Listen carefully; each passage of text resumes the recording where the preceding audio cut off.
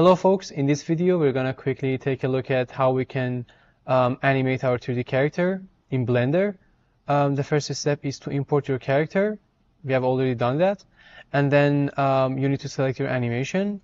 You can go to Mixamo website and then select whatever animation you like. For example, uh, this uh, hip hop dance.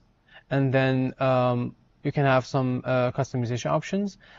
After you finalize your animation, you can go to download and then download the animation. Uh, it's better to use without the skin and uh, FBX binary. After you download it, because I've already downloaded the animation, um, I just need to import that. So I go to File, Import, and here FBX. Um, I just need to select my animation. And um, in here, make sure that um, in the animation section, in the armature, uh, there's this option, ignore leaf bones. Make sure you select that. And then import the FBX file. Okay, now uh, you need to select the armature of your 3D character. And then in the uh, left bottom you can go to um, here dope sheet.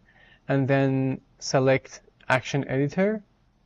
Okay and in here you can select this animation. If you click on that here, the animation is applied to your uh, character. You can go to um, timeline and select play.